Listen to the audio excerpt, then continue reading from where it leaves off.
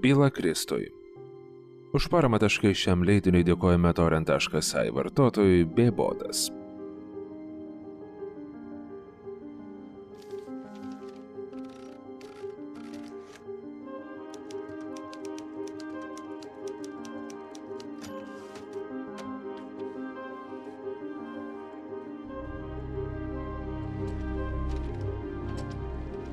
Išleisiu savo laikraštį. Parodysiu tau, kaip tai veikia.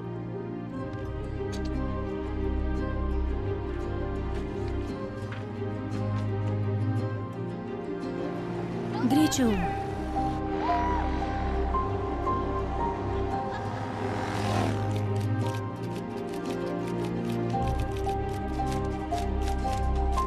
Rasiu darbą.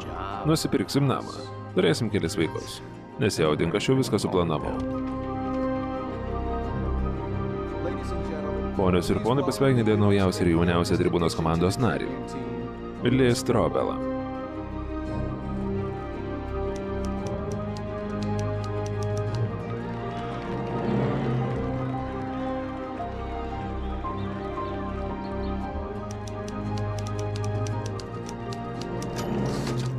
Man didelė garbė pagerbti vieną mūsiškių.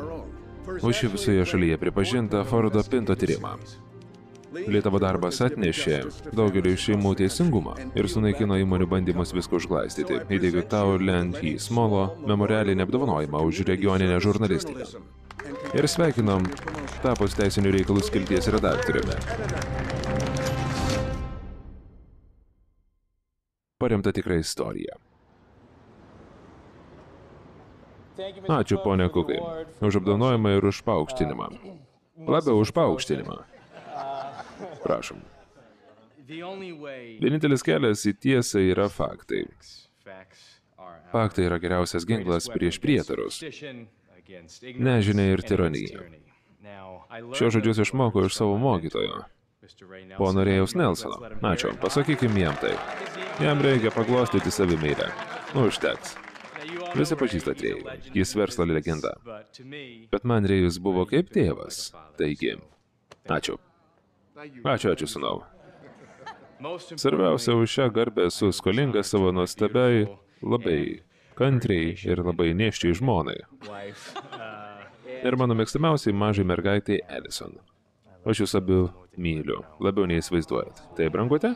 Ar jau galime valgyti? Ar jau galim valgyti velį? Taip. Taip, už tai ir išgerkim. Į sveikatą. Ačiū. Kas toliau? Aš radau pastą. Puiku. Žinoma, čia rado ilgiausią žodį, tiesa? Šparagas. Tai tikrai ilgas žodis. Tik ne mergaitė, kuriai jau iškrito dantis. Gerai. Gerai, didelė mergaitė. Aš vis tiek sužavėta. Didelė mergaitė, kuri nesuvargė vakarienės. Aš soti. Tikrai? Ar sakysi man, kad esi alkana, kai grįšim namo? Gerai, duosiu tau deserto. Jei suvalgysi dar vieną makaroną. Tai buvo lengva. Matai? Tai reikėjo šiek tiek paskatinti. Viskas, išsižiok, Ten dar yra spagečių. Nuryk. imk. Gerai padirbėjai. Žinai, aš visai didžiuojuosi savimi. Tikrai? Kodėlgi? Aš ištekėjusi iš garsaus rašytojo. Tai labai įspūdinga. Tikrai. Didžiuojuosi tavimi. Ačiū. Myliu tave. Ir aš tave. Tave ir tik tave. Brangutė, Ali, kas yra? Paspringai? manau, kad jį paspringo. Nagi, kosėk. Ali, nagi kosik. Ali, prašau. Prašau, duokit jai. Ly, daryk ką nors. Ali, Nagi, nagi. dukrytė, viskas bus gerai. Padėkit kas nors, iškvieskit greitąją. Viskas gerai, mažutė. Žiūrėkite, vėlį gerai. Gerai, kvepuok, viskas bus gerai. Vaikelė, aš čia. Nežinau, nežinau ką. Myliu tave širdelė, tiesiog. negali kvepuoti. Ali, prašau. Greitai, greitai, greitai. Na, geli, kosėk. Nagi, Ali, kosik. Kosėk, brangioji. Ji negali kvepuoti, Ly.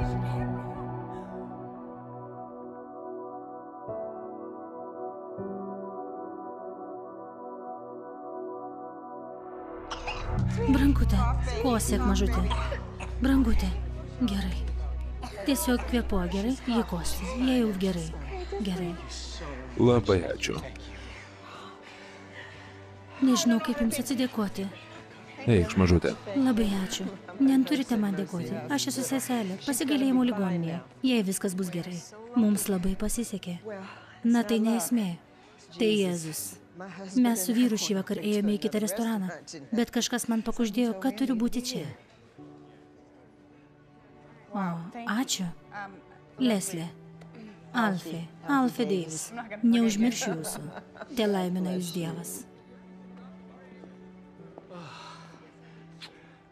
Neleidai nuobodžiauti.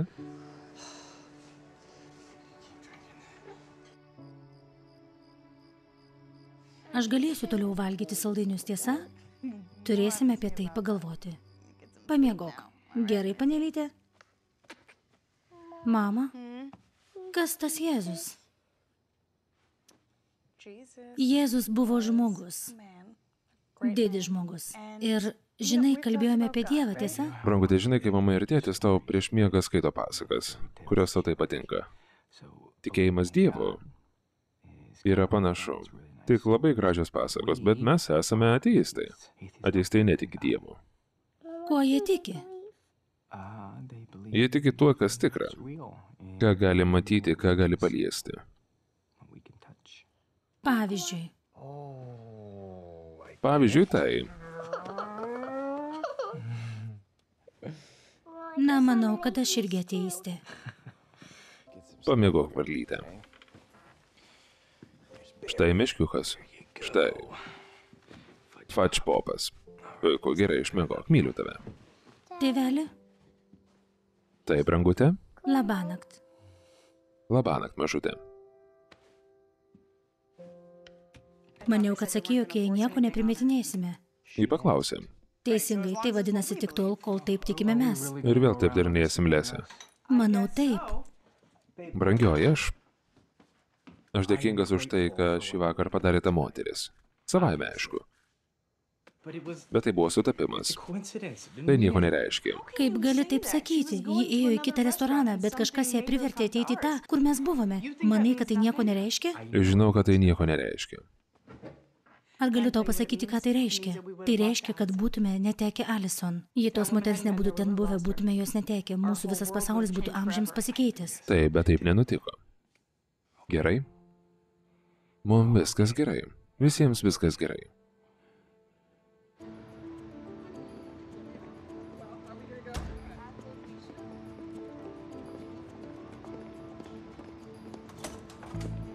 Štai palaikysiu.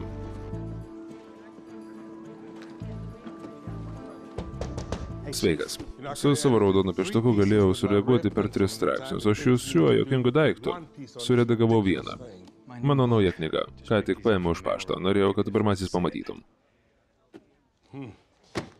Šį savaitgalį buvo šauti policininką Engelvude. Pareigūnas išgyveno. Pažiūrėk, ką gali rasti apie šovusį Jamesą Hicksą. Ne, tai farai.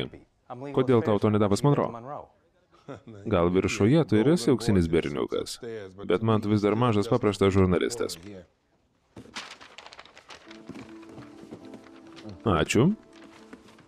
Neuždaryk. Londonai, labas. Nori parašyti mano knygos kopijas? Nekiek. Tau netinka pavydas, draugė mano. Ir šiaip tau niekas netinka. Pone Strobelį, teisinio reikalo apžvalga. Dėkui, Rodai. Reikia, kad peržiūrėtum vakarykščius vietinius laikraščius. Pažiūrėk, ar nebuvo prašytas policininko pašovimas. Įtariama vardas Hicksas. Jamesas Hicksas. Hicksas, Jamesas Hicksas. Žinoma. Gerai, turi 30 minučių.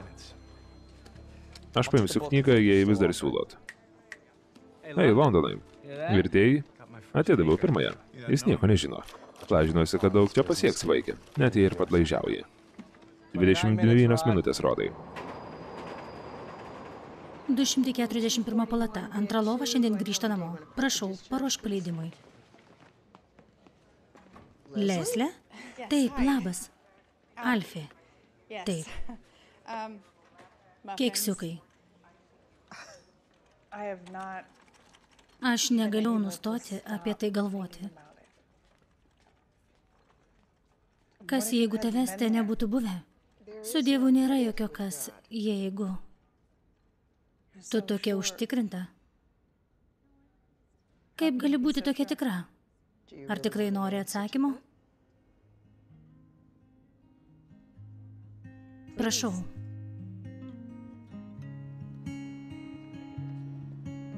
Alfe, atleisk. Atsiprašau, auklė. Atleisk, viskas gerai. Gerai, nagi, užėjai.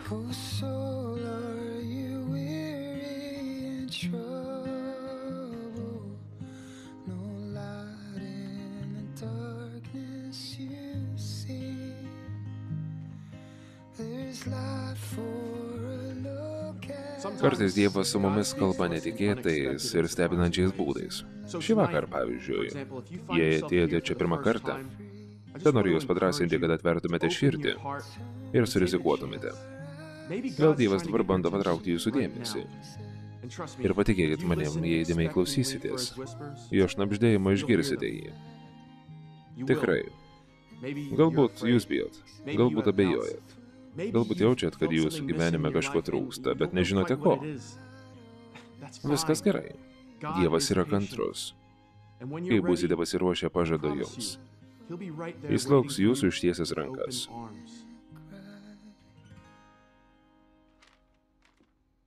Labas. Labas. Atleisk, kad praleidau vakarienę. Naujas bosas užvirtė darbais. Manau, kad jis mane baudžia už apdovanojimą. Kaip tavo diena? Gerai. Viskas gerai.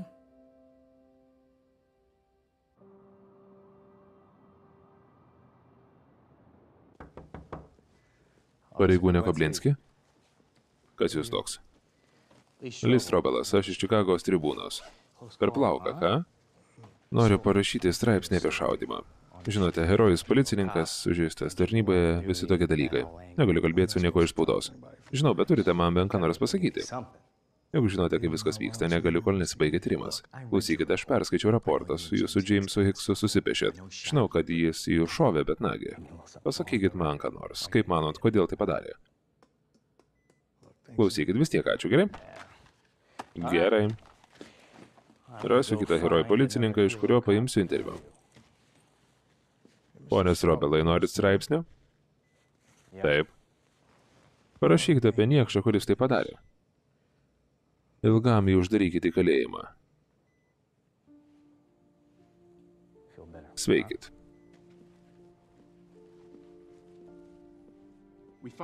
Atsakymus rasime čia. Evangelijoje pagal Joną pirmam skyriui 12 eilutėje. Visiems, kurie jį priėmė, jis davė galę tapti Dievo vaikais. Tiems, kurie tiki jo vardu. Ką reiškia ne vien tikėti, bet ir priimti? Ir kaip tai priveda mus? Taigi, ar kada vaikščiai į bažnyčią? Taip, kai buvau maža. O mano mama dar gėdodavo giesmes. Bet mes su lyg gyvename kitaip, nei mūsų augino. Ir kogi tiki ly? Tik faktais. Gerai. Mane tai visada šiek tiek domino, bet paskutiniu metu, žinai, kai susilaukiau Alison ir dabar, tai pradeda atrodyti dar svarbiau. Ir aš netikiu, kad tai, jog atėjai į restoraną buvo sutapimas. Tiesiog netikiu.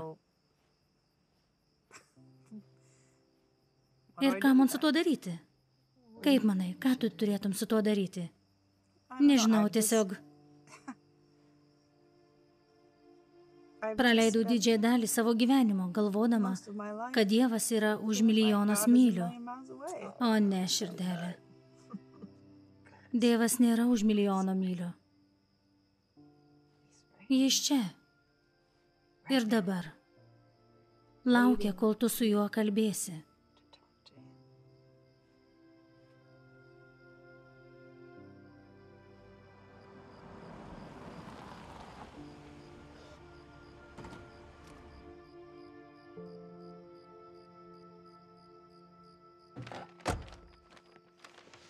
Televizorius vėl blogai rodo. Bandžiau trankyti, tai nebeveikia. Ar patikinai stogą? Taip, antenai viskas gerai. Gal paskambink remontininkui, kad jis rytoj ateitų ir apžiūrėtų. Žinoma. Praeitą savaitę buvau susitikusi su Alfe. Alfė, Alfė, Alfė. Alfė, Alfė. Supermoteris, kuri išgelbėjo mūsų dukterį. Teisingai. Alfė. Taigi, ji mane pasikvietė į bažnyčią, o aš nuėjau. Rimtai? Tikrai norėčiau tai pamatyti. Na, aš norėjau eiti. Negalim tiesiog to palikti ramybėlėse, gerai? Žinai, kad tą naktį buvai sujaudinta. Ar nori mane išklausyti, ar tiesiog mylikausi? Ne, aš nebandau to daryti. Gerai. Alison, sveika, neišprotėkim. Aš ir nesilgiu kaip beprotė. Ar aš ilgiuosi kaip beprotė? Blogai parinkau žodžius. Nemanau, kad tu beprotė, manau, kad tu neščia. Ir šiek tiek išprotėjus. Ir išsigandus, ir aš suprantu. Tikrai, nes aš dar nebaigiau. Gerai. Taigi, nuėjau į bažnyčią. Ir nežinau, kaip tai vyko, bet aš kažką pajutau. Todėl šį vakar ir vėl nuėjau. Žinau, kad bus keista tai girdėti, nes keista tai sakyti, bet aš meldžiausi. Ką tu mandai pasakyti, Lese?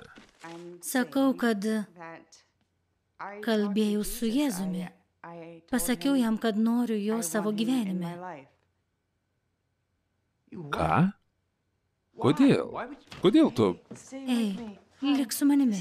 Brangusis, tai gerai. Ką tau pasakė Alfė? Tai buvo mano pasirinkimas. Gerai? Aš su tuo nesutinku. Tu negali su tuo nesutikti. Aš neklausiu. Aš to pasakoju, kas nutiko. Tu manęs negirdi. Gerai, klausyk, brangusis. Tai aš. Tai aš kalbu su tavimi. Aš. Rimtai. Tai yra kažkas, apie ką, manau, galvojau labai ilgai. Bet aš negalėjau nieko pasakyti dėl to, koks esi. Ar juokauji, Lese?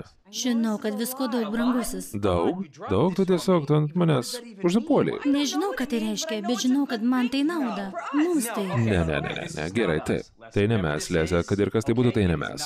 Tu viena. Ar gali manęs paklausyti ir nesupykti? Klausau tavęs, tai nėra problema. Taigi, jeigu kalbi rimtai. Kalbu rimtai. Gerai, tada, tada nežinau, ką tau pasakyti. Kad ir kas tai bebūtų. Tada nieko ir nesakysiu. Tiesiog paklausyk, kad ką aš bandau tau pasakyti, nes bandau paaiškinti, kad pajutau kažką, kas galbūt yra daug realiau nei bet kas, ką jaučiu savo gyvenime. Realiau nei bet kas, ką jautėjai savo gyvenime. Gerai, aš nebandau lyginti. Supratau. Aš. Supratau. Žinai ką, nenoriu daugiau nieko girdėti. Nagi, brangusis. Gerai? Kur eini? Pranešti policijai, kad dingo žmogus. Tai nejuokinga. Ir neturėtų būti.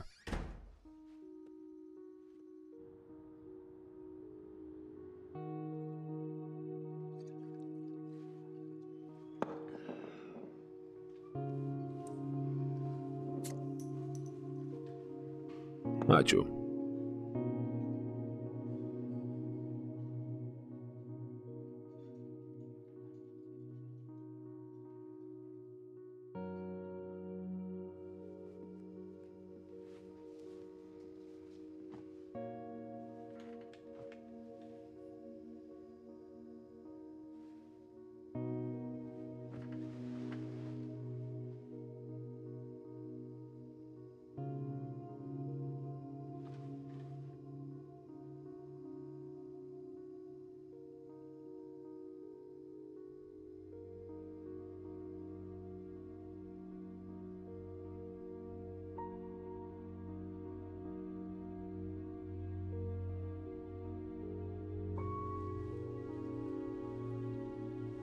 Tave, lystrobelai. Tave ir tik tave.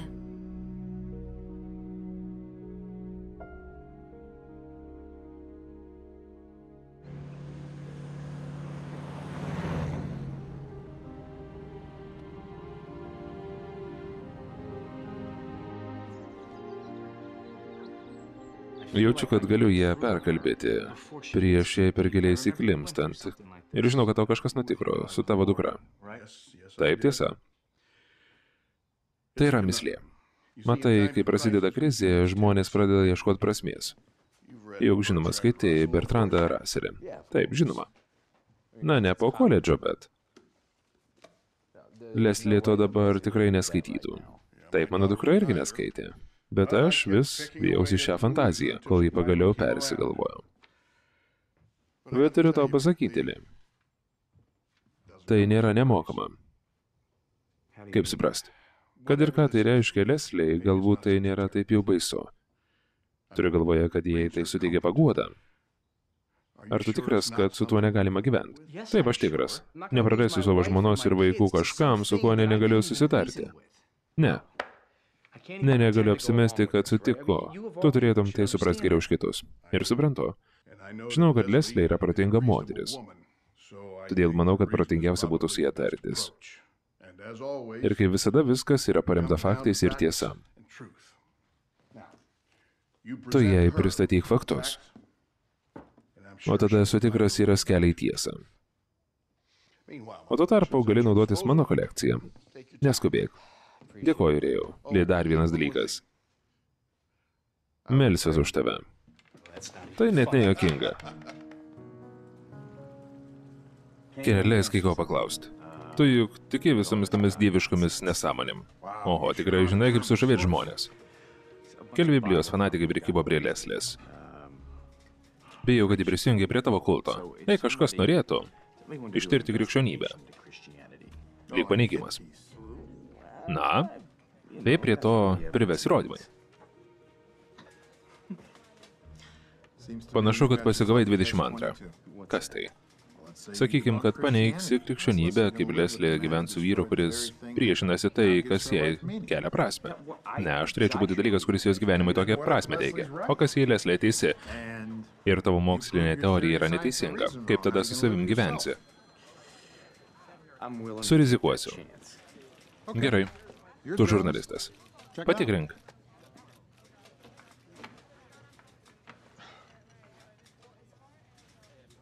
Kur tu pradėtum?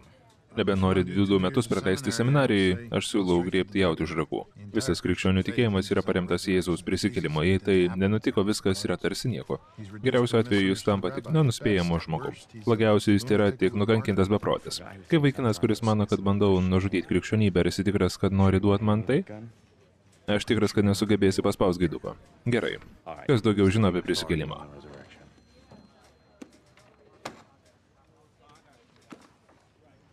Daktaras Garis Hambermasas. Jis debatavo su Antoniu. Jis yra vienas iš mano herojų. Jis Viskonsinė. Šį savaitgalį vyks dideli debatai. Viskonsinė? Kas keliautų ten?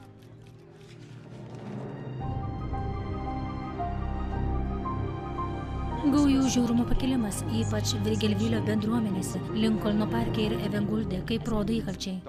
Daktarė Hambermas, jei krikščionys nori laikytis savo tikėjimo didžiuliais vaizduojamo kosminio draugu,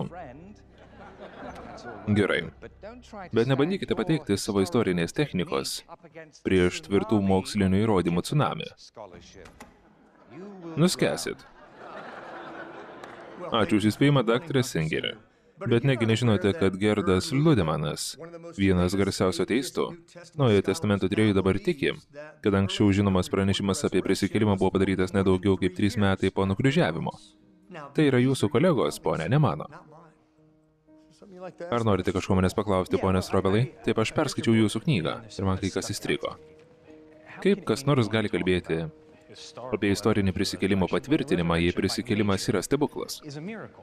Tiesa, juk visi žinome, kad stebuklo neįmanoma moksliškai įrodyti. Teisingai, bet mums nereikia įrodyti stebuklo, kad įrodytume prisikėlimą. Gerai, būtų puiku, jei tai paaiškintumėt. Ne, tai reikia parodyti, kad Jėzus mirė, o po to buvo pamatytas. Taip, bet žmonės, kurie teigia, kad jį matė, yra religiniai fanatikai. Mano darbė tai vadinama šališkasis šaltinis. Na manęs šališkumas irgi nedomina, ponės Robelai. Matote, man rūpi faktai. Dėl profesinių ir asmeninių priežasčių.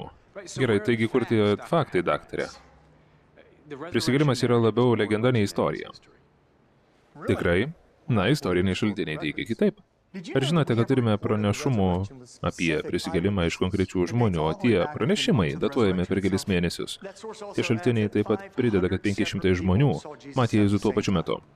Nekalbame apie dešimtmečius ar šimtmečius po nukryžiavimo, ponė Strobelai. Tai mėnesiai.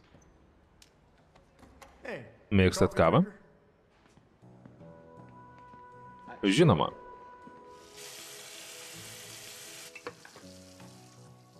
Turėčiau jau pasiekti čiaupą. Kada aš užauksiu? Nei nepastebėsi. Kas nutiko, mamytė?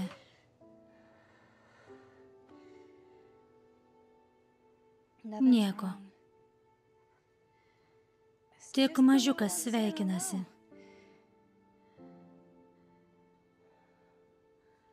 Gerai, vadinasi 500 liudininkų, bet tai vis tiek vienas istorinis šaltinis Biblija. Neteisingai, tiek Biblijoje, tiek kitur yra bent devyni senoviniai šaltiniai, patvirtinantis, kad mokiniai ir kiti sutiko Jėzų po nukryžiavimo. Bet jie ir taip jau buvo Jėzus pasiekėjai. Na, ne visi. Pagalvok apie Saulį iš Tarso. Iš pradžių jis buvo krikščionių persekiotojas, jis juos medžiojo ir žudė. Bet jis mirė kaip apaštalas Paulius, teikdamas, kad Jėzus yra Dievo sūnus. Bet nepagaudinėkim savęs. Žmonės nuolat miršta dėl melo. Džonstone išgėrė nuodų mirė 90 žmonių. Tiesa, yra ir daugiau tokių pavyzdžių visoje istorijoje, bet štai ir skirtumas. Žmonės savo norų negeria nuodų už kažką, ką žino esant melu. Logiška. Jei ankstyvieji bažnyčios kankiniai žinojo, kad prisikėlimas yra apgaulė, kodėl jie tada savo norų už tai mirė? Ar jūs tai padarytumėt? Noriu grįžti prie kai ko, ką pasakėt anksčiau. Pasakėt, kad tai yra asmeniška. Kodėl? Mano žmona debemirė nuo vėžio. O žiūčiu. Tai buvo pats blogiausias man kada nutikęs dalykas. Bet net tik ties metu privalėjau susidurti su savo tikėjimu. Ten radau tikrąją paguodą. Nes žinau, kad kada nors ir vėl pamatysiu savo žmoną. Atleiskit man, bet kaip žmogus, kuris teigia, kad vertina tvirtus įrodymus, nemanote, kad toks viltingas galvojimas susilpnina jūsų argumentus? Nekiek. Tai, kad gravitacija teikia man naudos, nereiškia, kad ji reali. Kaip ir tai, kad aš nemėgstu uodų, nereiškia, kad jie neegzistuoja. Matote, tai, ko noriu ir tai, ko nenoriu, neturi jokio poveikio tiesai. Taigi, Kristaus prisikėlimas reiškia, kad ir vėl galėsiu būti su debe, aš nieko prieš, kad tuo džiaugsiuosi. Kartais tiesa mus primena tai, kas iš tiesų svarbu.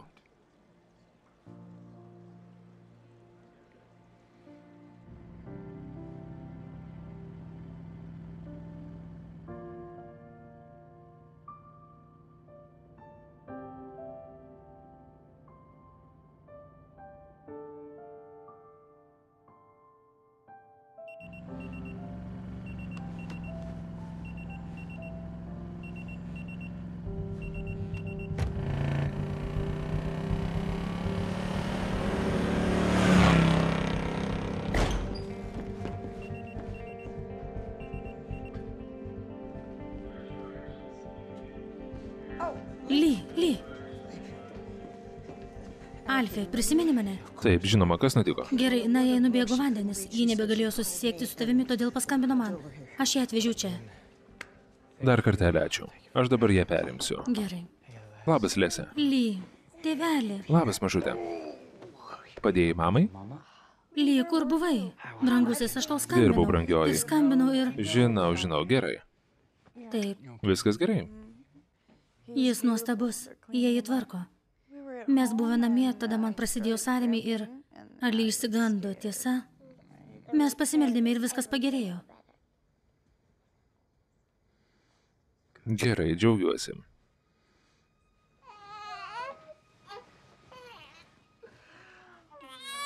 Labas, brangusis. Eikš, mažiuk. Labas. Jis turi sveikus plaučius. Susipažink su savo sūnumi, Kailu Kristoferiu. Labas. Labas. Labas. Sveikas atvykęs į pasaulį, draugužė.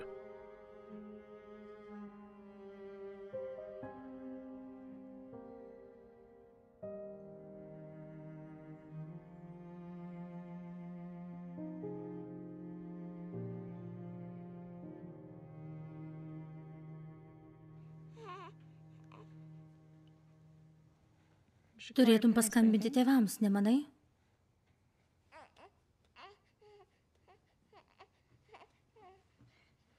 Žmonės jų gali pasikeisti.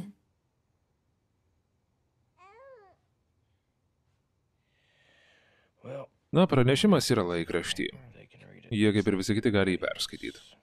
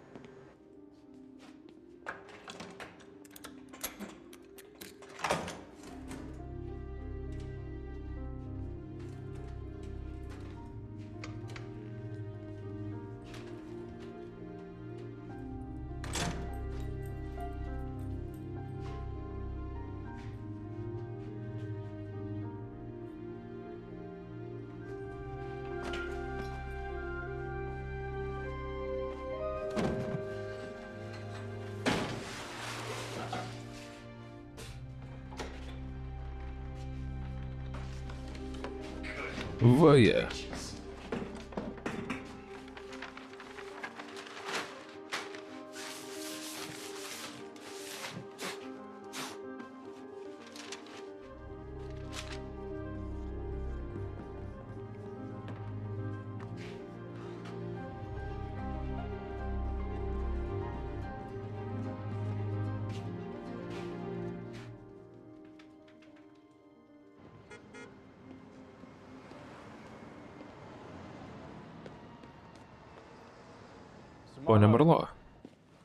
Lis Robelas, Čikagos tribuna.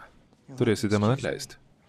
Pone, neatsakote į mano skambučius. Dėl Jameso Hickso jau daugiau nei savaitę. Bandžiau kalbėti su policija, jie man irgi nieko nesako. Todėl aš niekur negaliu gauti nieko. Kas čia per paslaptis? Palaikyk. Žinai ką, kodėlgi tau neužėjus į kalėjimą ir pačiam nepakalbėjus su mano klientu? Gal tau jis pasakys daugiau? Nei man.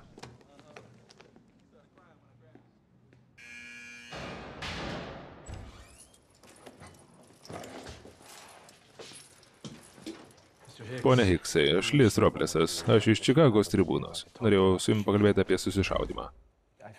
Pagalvojau, kad galbūt norit papasakoti savo versiją, žinot, šiek tiek savo padėti. Aš nieko nepadariau. Gerai, tai papasakokit, kaip viskas nutiko. Nežinau. Tai sudėtinga, Džo pradėjo iš niekur nieko manęs kažko sakyti. Kas tai Džo? Koblinskis. Faras. Koblinskis.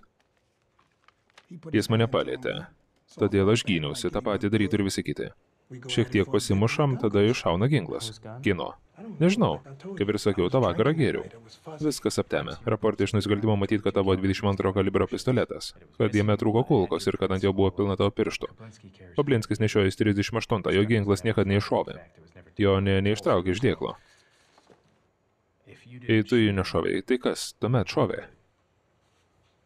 Mano mergina tą naktį mane išspyrė.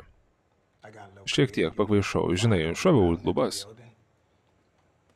Bet į nieką nesitaikiau ir nieko nesužydžiau.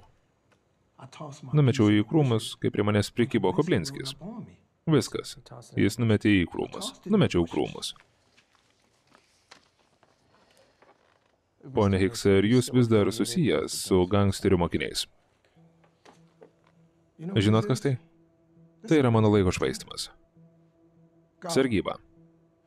Pone, aš bandau jums padėti.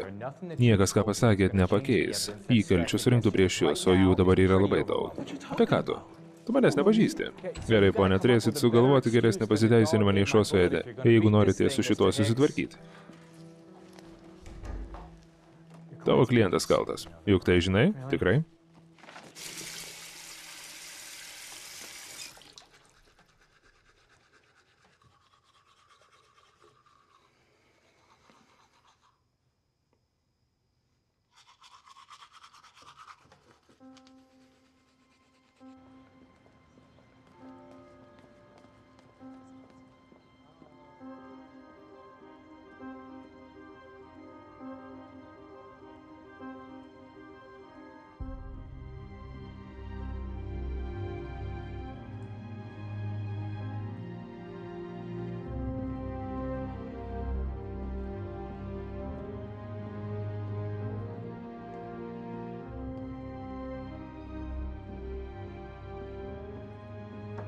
Tėve Markesai, Lis Rabelas, ačiū, kad sutikot su manim pasimatyti.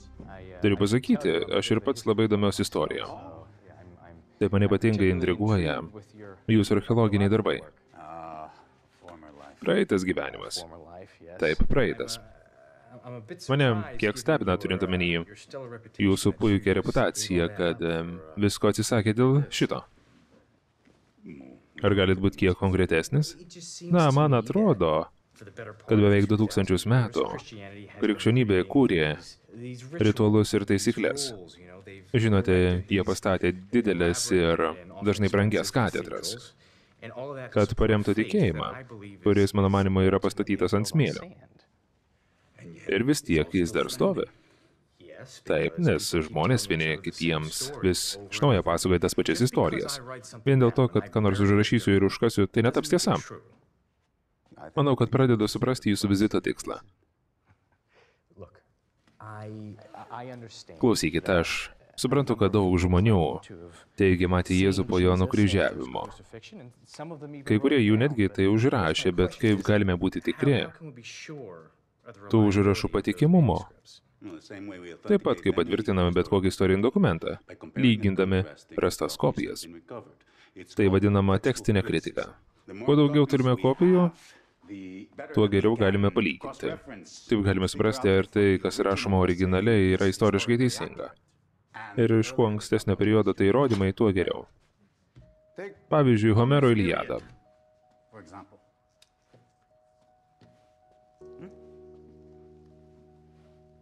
Tai tikra? Tikra kaip ir Makedonijos smėlis, iš kurio tai iškasiau. Graikams ilgu šimtmečius. Tai buvo Biblija. Tiesa. Tai yra vienas iš 1565 kopijų egzistuojančių šiandien. Iliada buvo parašyta 800 metų prieš Kristų. Gerai. Ši graikiška kopija parašyta trečiame amžiuje po Kristaus. Taigi, 800, tai 1100 metų tarp šios kopijos ir originalo, tiesa. Teisingai, yra tik viena raštų kolekcija, kuri turi daugiau autentiškų kopijų nei Iliada. Gal galite atspėti, kas tai? Pasakysit, kad tai Biblija. Naujasis testamentas. Ir kiek tų kopijų? Iki šiandien archeologai rado 5843 graikiškus Naujojo testamento rankraščius. Tai keturis kartus daugiau nei Iliada. Tikrai? Seniausias Jono Evangelijos fragmentas buvo rastas senovės Egipte. Jis parašytas antrame amžiuje po Kristaus. Kaip tai arti prie originalo. Mažiau nei 30 metų. Savo kolekcijoje turiu vieną fragmentą. Tai tikras lobis, tiesa? Prie Naujojo testamento ir Iliados niekas ne nepriartėja. Sofoklio te turime šimtą kopijų, septynias Platono tetralogijų kopijas ir tik penkias Aristotelio kūrinių kopijas. Iš tiesų, jei išlikusias Aristotelio kopijas sudėtum vieną ant kitos, tai nebūtų ne keturių pėdų. Jei tą patį padarytum su naujoju testamentu, krūva būtų mylios aukščio. Niekas kitas istorijoje prie to nepriartėja. Ar tai pakankamai patikima? Na, tėvė, labai dėkoju. Davėte man daug apie ką pamastyti. Malonu. Turino drabulė. Tai puikiai kopija. Tikroji drabulė yra Švento Jono Krikštitojo katedroje Italijoje, užrakinta ir saugoma, žinoma. Niekas taip ir neįrodė, kad ši drabulė tikrai yra Kristaus mirties rūbas. Bet kai kai kas pažiūri iš šias akies pirmą kartą, Galilėjietis kabojęs ant kryžiaus prieš 2000 metų, staiga tampa realiu žmogumi. Bet kodėl jis tai padarė? Kodėl jis leidosi nužudomas? Jis iš tiesų yra Dievo sūnus. Kodėl jis nepasinaudoja savo galimis, kad apsigintų? Atsakymas mane ištraukė iš purvo ir pastumėjo bažnyčią. Tai iš tiesų labai paprasta. Meilė.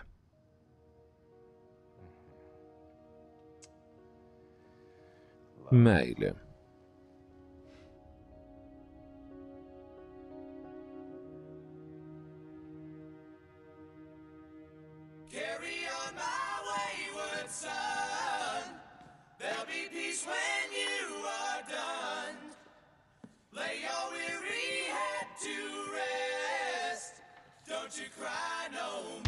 Sakai, kad istorinis Kristus yra identiškas religiniam Jėzui Kristui?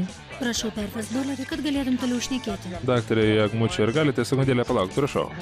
Sveiki, Ristrobilas iš Čikagos. Kaip laikotės, ponė? Daktaras Benas Viktentonas. Paskambinsiu. Ne, tik norėjau patikrinti kelių istorinių dokumentų patikimo į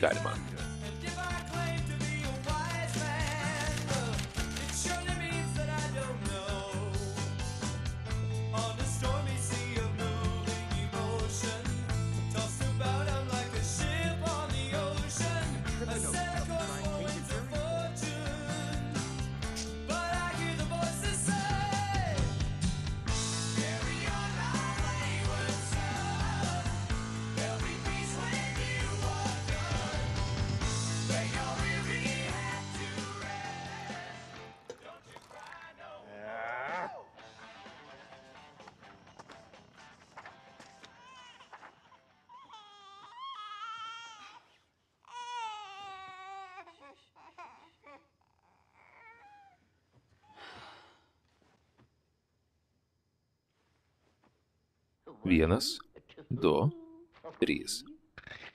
Trys. Kiek kartų reikia palaižyti čiulvinuką, kad pasiektumėte jo vidurį? Pasaulis to galbūt niekada nesužinos. Kasper, brangusis dabar trečia ryto.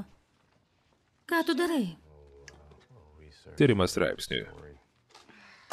Apie ką straipsnis? Apie importuotą vokišką alų? Štai ir teisimas. Aš tavęs neteisiu. Nagi, Aš susirūpinusi, brangusis, kad naktimis nemėgi arba būni išėjęs. Tiesiog jaučiu, kad tu nebe su manimi. ir kino tai kaltėlėsle. Gerai. Tikrai per daug išgėriai. Elgėsi kaip mulkis. Taigi tai mano kaltė. Brangioji, tai ne aš pasikeičiau, o tu. Nežinau, gal tau manęs neužteko, galbūt tau reikėjo susirasti naują vyrą. Ką? Taip, tu mane apgaudinėjai su Jėzu.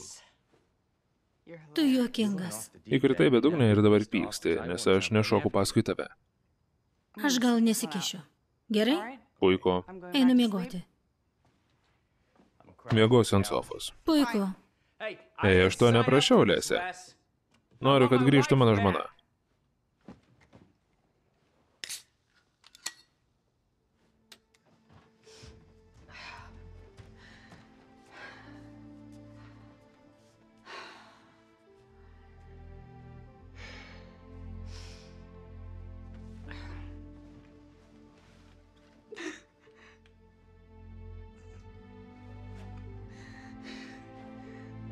Prašau, pasakyk man, ką man daryti.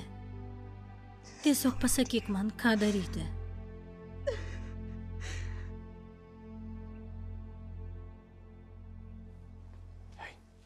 Labą rytą. Gerai išsimegojai? Ar sapnai buvo saldus?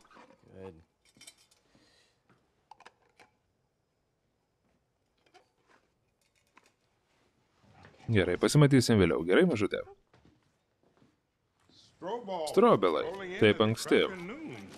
Tik bandau viską įsiaiškinti šiame apšaudime bose.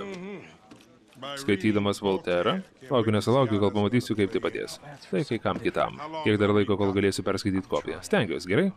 Čia didelė istorija, jaučiu taip. Taip, o aš ją turiu jausti čia.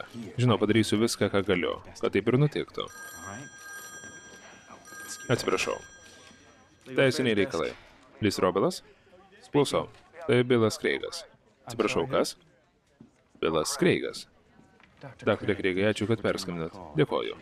Taip, atsiprašau, kad taip negreitai. Skambinu iš Jeruzalės. Tuoj turėsiu vesti paskaitą.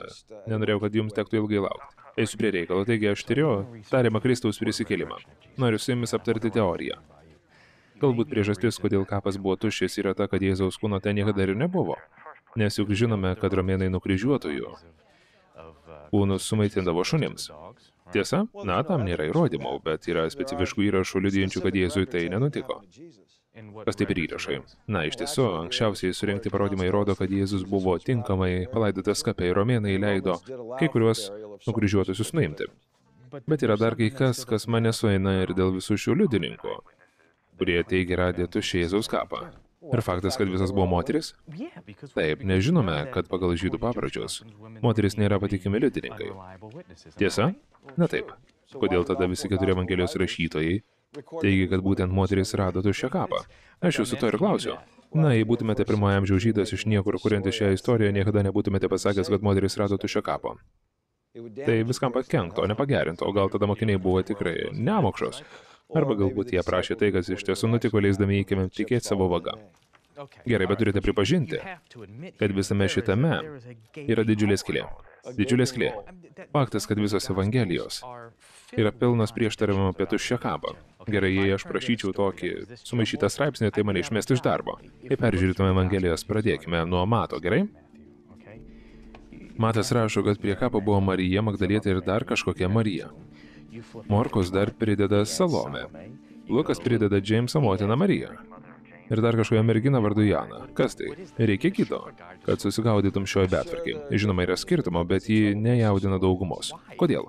Tai jaudina mane, turėtų jaudinti ir juos, nes istorijos brandalys visose keturiose evangelijose tas pats. Kai Jėzus paguldomas į kapą, sekmadienio rytą jie aplanko maža grupelė moterų, o jos pamato, kad kūno nebėra. Juk stovėjote ten. Taip, teisingai. Tada žinot, kad kai policija apklausė liudininkus, jie niekada nesitikė, jog antrarūšės detalės bus vienodos, kol pagrindas būna vienodas. Iš tiesų, jei detalės yra per daug panašios, tai jau kelia įtarimą. Tai tiesa. Na būtent apie tai čia ir kalbam. Tušės kapas yra paremtas įrodymais, argi ne tai jums svarbiausia? Tai bet kas jei prisikėlimas yra ta istorinė detalė, kuri buvo užfiksuota neteisingai. Iš kur mums žinot? Li, leis man kai ko paklausti. Ar tikrai nori sužinoti tiesą, ar jau esi apsisprendęs, nepaisant faktų? Klausykit, daktarė, žurnalistas. Mano darbas yra mesti iššūkius, kol jų niekas neįrodo. Tai ir tą darau. Suprantu. Bet kada užtektina įrodymų yra užtektina įrodymų. Su juo taip sunku. Turbūt aš tam negimiau. Tiesiog noriu su to juo pasidalinti. Noriu tai švesti, o dabar vaikšto ant adatų savo pačios namuose. Na, jam turbūt tas pats. Jis turbūt irgi vaikšto ant adatų, taigi atsipalaiduok. Bet kuo daugiau stengiuosi jį pasiekti, tuo labiau jis atsitraukia. Gerai. Taigi kaip jį pasiekdavai anksčiau? Na, mes kalbėdavomės. Daug kalbėdavomės ir klausydavomės. Klausydavotės? Padaryk tai. Lengviau pasakyti nei padaryti.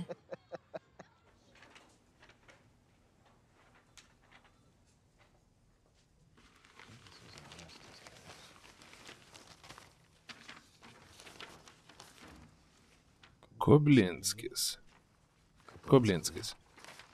Koblinskis. Koblinskis.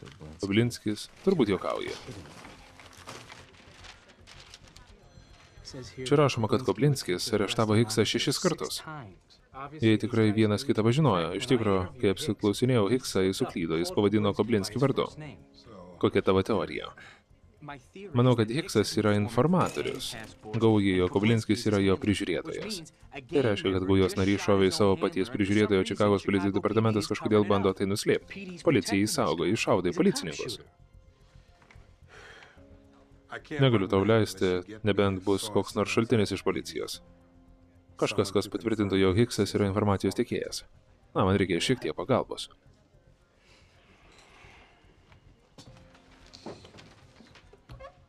Tik vakarienė ir gėrimai.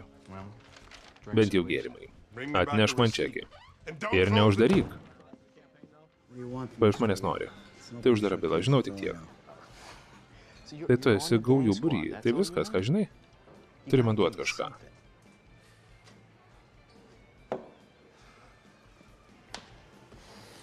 Galiu tave pavaišinti vakarienę. Mėgsti steiką? Štai mano teorija. Koblinskis tavo komandoje, o Hicksas yra jūsų informacijos šaltinis.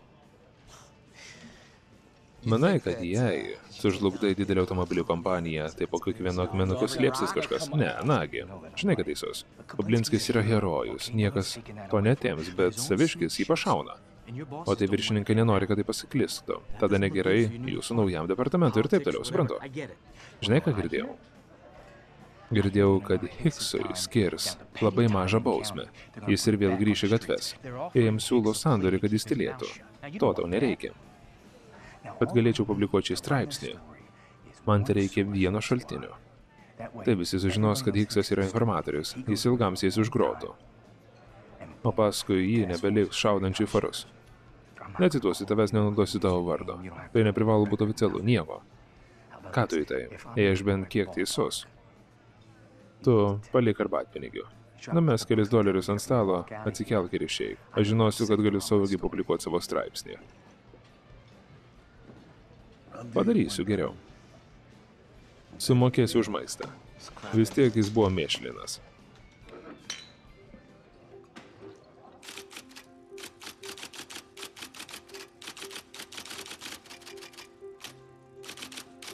Ar tu to įsitikinęs? Labai. Gerai. Nuneš kopijavimui. Priekinis puslapis, svarbios žinios ir ne.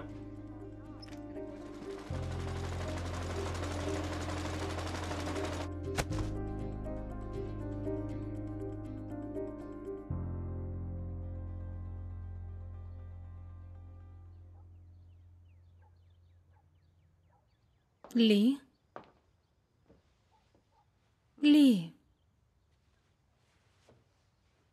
Labas. Išviriau kavos. Gerai. Užsičiaupk ir paim kavą.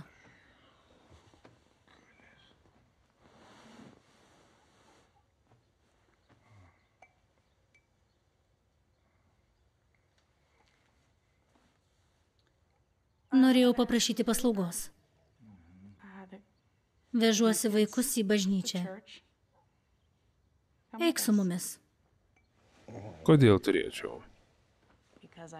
Nes aš gražiai paprašiau ir net manydamas, kad išprotėjau, vis tiek padarytum bet ką, kad būčiau laiminga.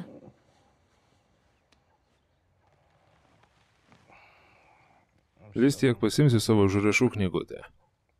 Gal įsiaiškinsiu, ką nors bažnyčios skandalą ar ką nors panašaus. Sutarta. Pasiruošk. 15 minučių.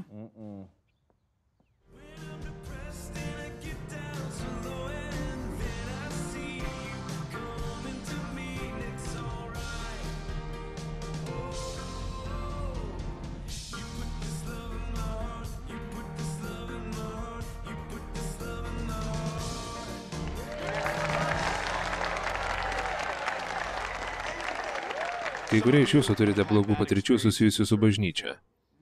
Aš tai suprantu, bažnyčios nėra idealios. Pastoriai nėra idealus, žinau, kad aš nesu idealus. Bet tai nėra Dievas. Tai žmonės. Dievas nori būti jūsų tėvu. Mylėti jūs iki jo rojaus pažado išsipildymo, nes tai yra paprasta mūsų tikėjimo tiesa. Dievas mūsų kūrė. Mes viską suknisom. Kristus sumokėjo už mūsų nuodėmes, o mes te turime jį priimti. Tai tikrai paprasta. Ly, Labas, malonu tave matyti, Alfė. man taip pat. Matau, atsivežėte kūdikį? Taip, jis auga. Ar galiu su tavimi minutėlę pakalbėti? Žinoma. Taip tik norėjau pasakyti, kad mes esame labai dėkingi už tai, ką padarėjai dėl Alison. Ir mes tau skolingi. Ir aš nejuokauju. Bet dabar visas šitas dalykas su Lesle turi baigtis. Nesuprantu. Tu į galvą prikiši minčių, tu ją įtrauki į tai ir... Aš žinau, kaip tai veikia. Žinau, kad jūs turite mandatą. Gerai, jūs turite. Turite skleisti gerąją naujieną. Tik sakau, kad turėsi rasti ką nors kitą. Ly, tavo žmonai nėra praplautos smegenys. Ji ieško dievų. Aš tik bandau padėti. Ji pažydžiama, o tu to naudojasi. Ji mano žmona. Tai mūsų gyvenimas ir aš noriu, kad tu jį nesikištum. Ar aišku? Gerai, nagi. Na, pasimatysim. Alison? Gerai. Eikš, brangutė. Iki.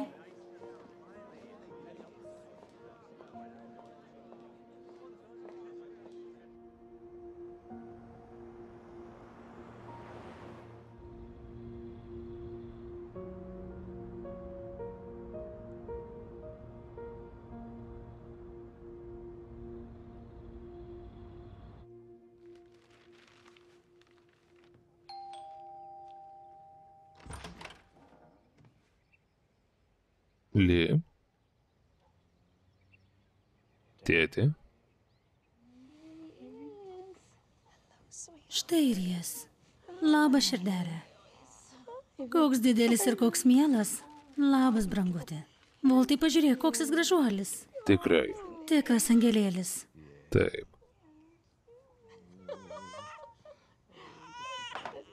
Mažiuk.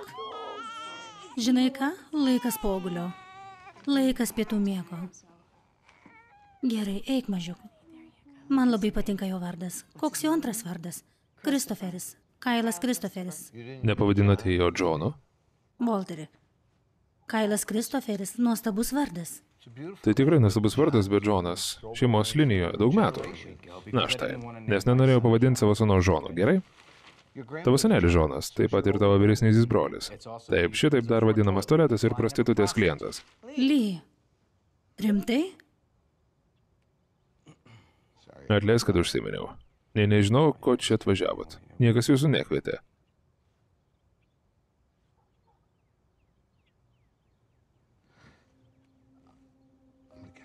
Einu pakvėpuosiu grįno oru. Leslė, buvo malonu tave pamatyti. Ačiū, kad atvažiavote.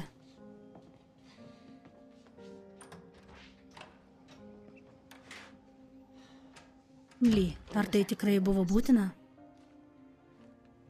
Mokiausi iš geriausių, mama. Norėčiau, kad jau išmoktumėte vienas kitą suprasti. Žinai ką, aš daug ko norėčiau. Ko iš manęs nori? Aš jam niekada nerūpėjau. Dabar, kai turiu vaikų, jūs taiga nori tapti geriausiu draugu. Ne, per vėlu. Brangioji einu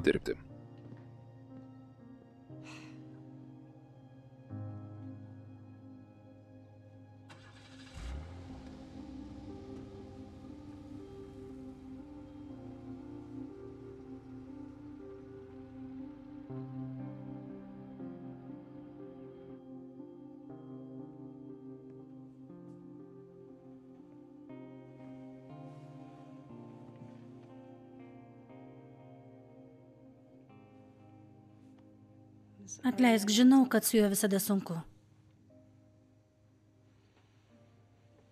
Tai niekada negali nutikti mums.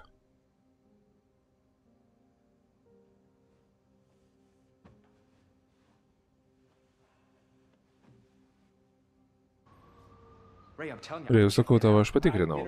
Apklausiau tuziną istorikų, filosofų, archeologų. Yra daug parodymų, kurie atitinka vieni kitus. Žmonės neturintys priežasties meluoti. Tiesą sakant, geriau jau jie būtų tikėję. Kai kurie iš jų mirė dėl savo tikėjimo. Einu iš proto, rėjau. Atsikeliu kas rytą ir galvoju. Gal šiandien tą dieną. Gal šiandien jį grįš į protą. Ir taip nenutinka. Žinai, viskas tik blogėja. Svarbiausia, kad jį pasikeitė. Tikrai pasikeitė. Žinai, tai mane labai gazdina. Pasilgau savo žmonos. Norėčiau galėti labiau tau padėti, Ly.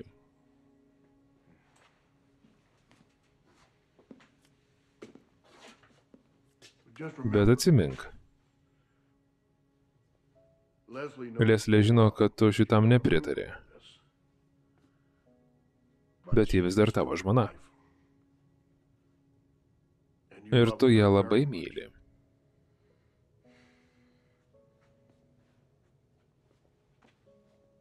Tik užtikrink, kad ji tai irgi žino.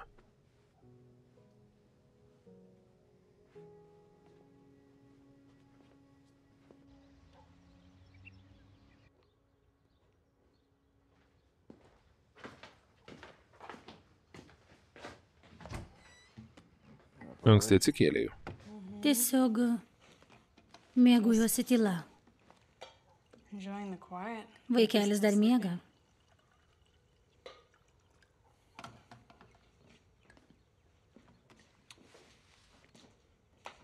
Viskas gerai? Taip. Tik jaučiuosi dėkinga. Už tave. Už mus. Taip, aš irgi.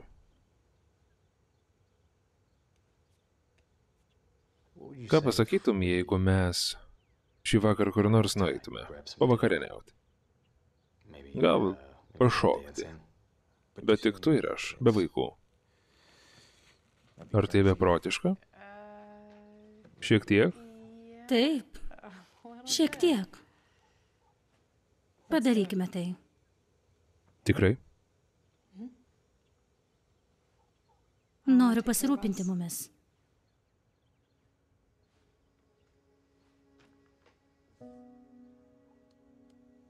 Tu ir tik tu.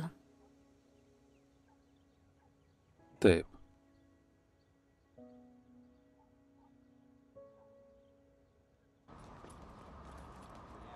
Pone Hiksai, ar suprantate kaltinimus, kurie jums buvo pateikti? Taip, ponė. Kaip jūs atsakote? Kaltas, ponė. Tai nėra pirmas kartas, kai matau tave savo teismo salėje. Žinau, kad mane, jog šiandien iš čia išeisi su lengva bausme. Bet turint omeny paskutinius laikraščių straipsnius, šiandien tau labai nepasisekė. Aš tave nuteisiu mažiausiai 15 metų Džiolėto valstybinėme kalėjime. Bailifai, išvesk jį. Pone Hiksai, kaltas ką? Mes visi dėl kažko kalti, bet dėl šito aš nekaltas. Gerai, kodėl tada to nepasakė, kodėl neprisipažinai? Tavo straipsnis mane palaiko kito pasirinkimo. Ar tavo straipsnis man paliko?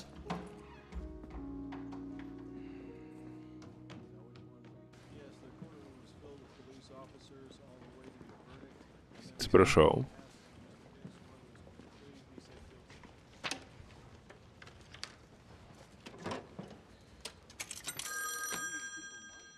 Dubuo.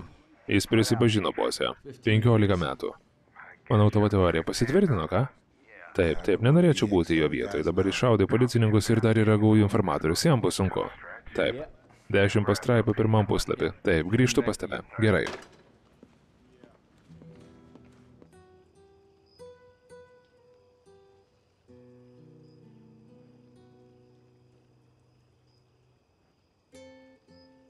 Žinai, ką mąsčiau?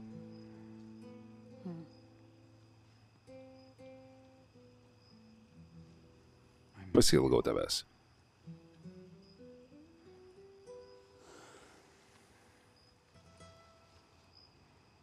Aš čia. Taip. Norėčiau, kad galėtum geriau suprasti, ką aš išgyvenu.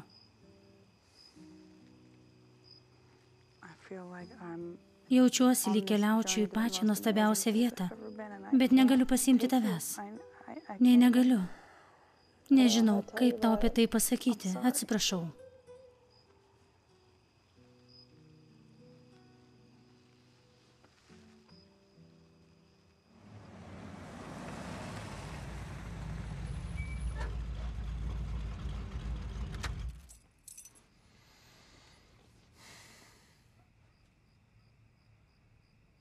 Klausyklėse aš.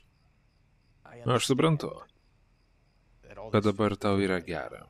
Aš juk buvau bažnyčioje. Girdėjau muziką. Suprantu, kad noriu, jog tai būtų tiesa. Bet kas jei taip nėra? Argi nenorėtum to sužinoti prieš tam paskirdama visą gyvenimą? Žinoma. Bet kas jei tai tiesa? Kas jei tai tiesa? Negi nenorėtum žinoti to?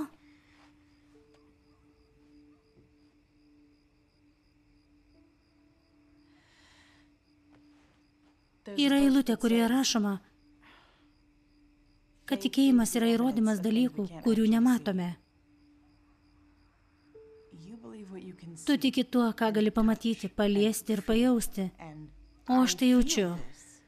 Matau tai, žinau tai. Lese, tu negali. Bet aš galiu. Lygiai taip pat, kaip žinau, kad tave myliu. Taip, bet tai kažkas kita. Aš esu tikras, aš esu žmogus. Mes turim santykius.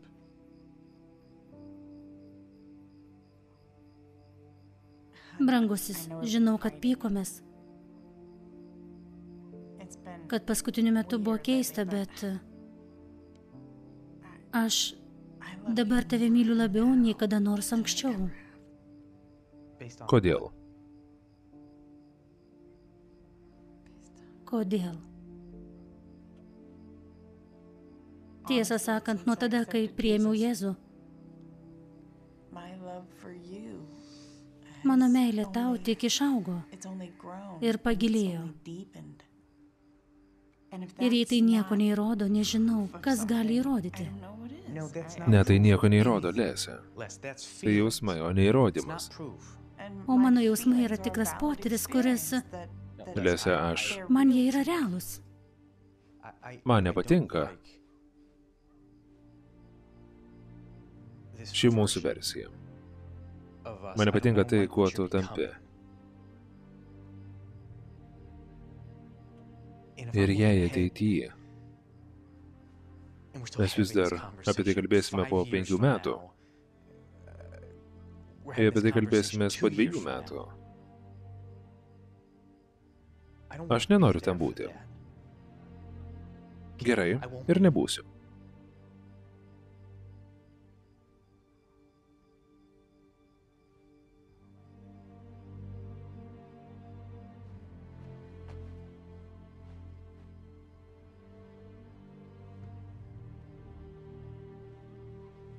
Einu pažiūrėti kaip vaikai.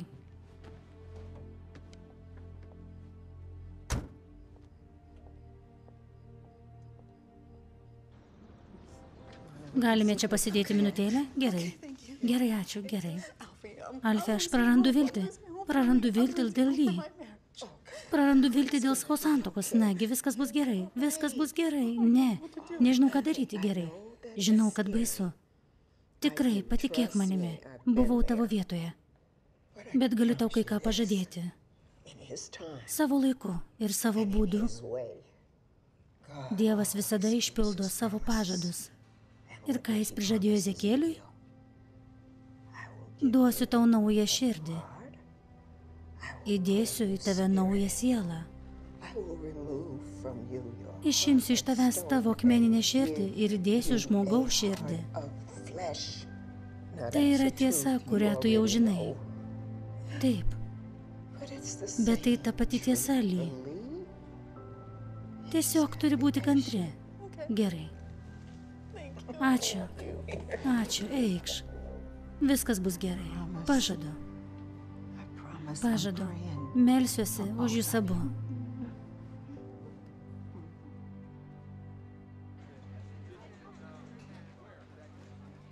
Tai, kad jie sako, jog matė Jėzų, dar nereiškia, kad taip ir buvo.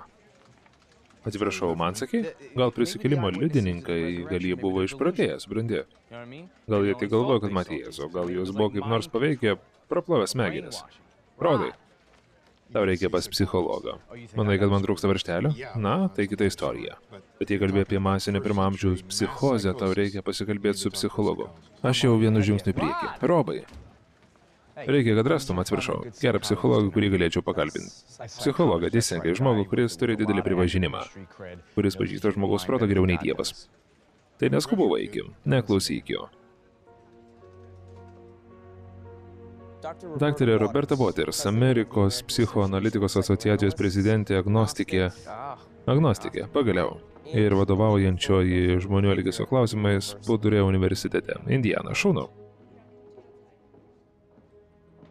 Daktarė Waters, Sveiki, ponė Strobelai. Kad ir kaip norėčiau padėti skeptikui, tai, ką siūlote, yra visiškai neįmanoma. kaip gali tai sakyti? Jei Čarlzas Mansonas gali paversti savo pasikėjus, o zombis, Kristaus kulto pasikėjai tikrai gali patikėti savo pačių apgaulėm.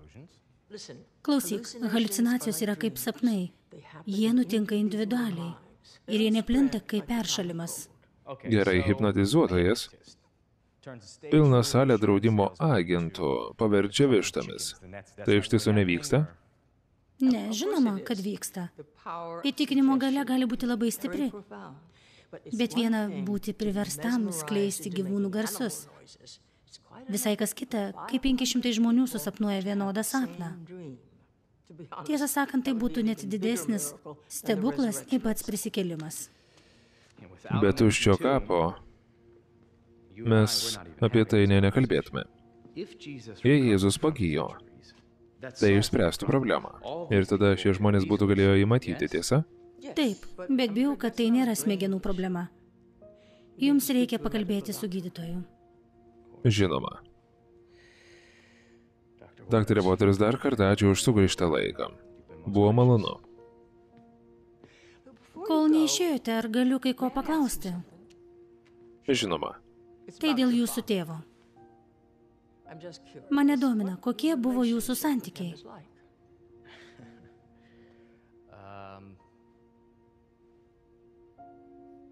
Komplikuoti.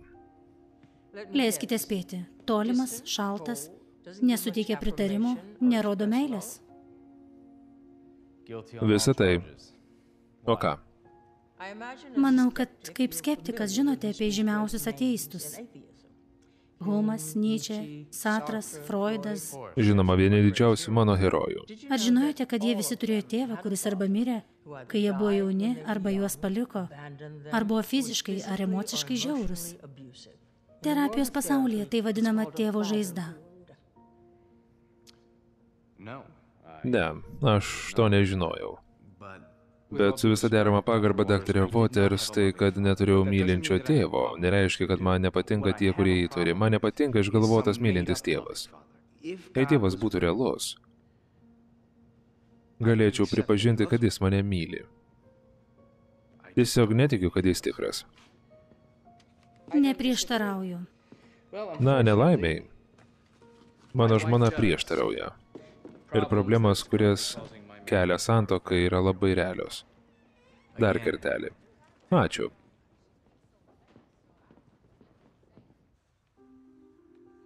Aš tau duosiu naują širdį ir įdėsiu į tave naują sielą. Išimsiu iš tavęs tavo akmeninę širdį ir įdėsiu tau žmogaus širdį. Aš tau duosiu naują širdį ir įdėsiu į tave naują sielą. Išimsiu iš tavęs tavo akmeninę širdį ir įdėsiu tau žmogaus širdį.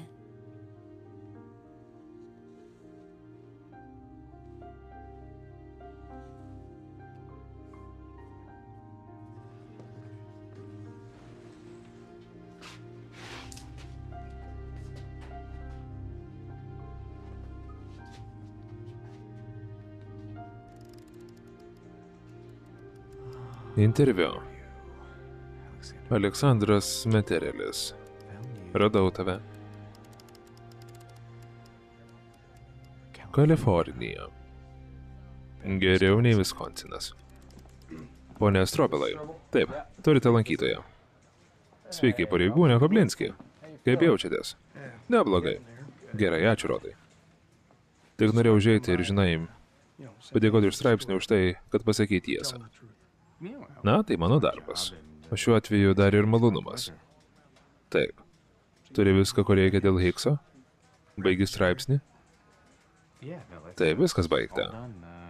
Nebereikia jaudintis, kad jis į ką nors šaus. Artimiausius 15 metų. Vis dar turiu kulkos skeveldrius savo blužnį. Tiesa, pamiršau, taip. Kaina už mano darbą, ne? Teisingai.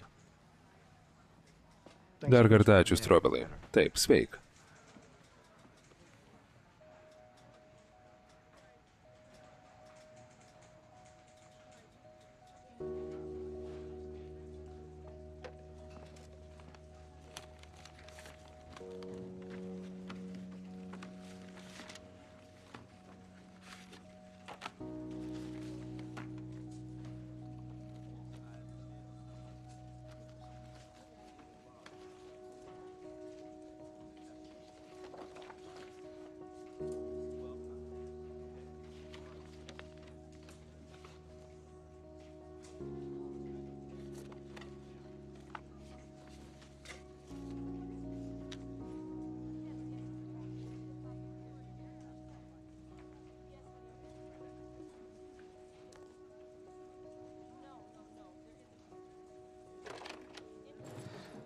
Nežinau, kodėl nori tai dabar daryti. Juk jau nuteisė. Tiesiog padaryk tai, Marlo. Štai kas keista. Jis turi kulkos keveldrų blužny, bet įėjimo žaizda yra čia. Lyg šautuvo vamzdis būtų buvęs kišenės viduje. Taip, čia galima matyti nudegimus. Prieš kelis metus tyriau slaptintus ginklus. Žmonės slėpė ginklus žieptuvėliuose, saktyse. Tai tušinukas. Rašymo įrankis. Tikrai?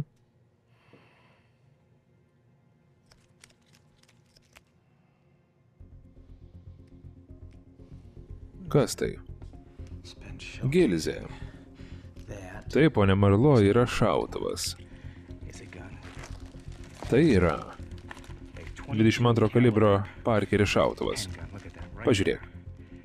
Taip, pašovė Koblinski. Pareigūnai negali su savimi nešiotis tokio ginklo tarnybos metu.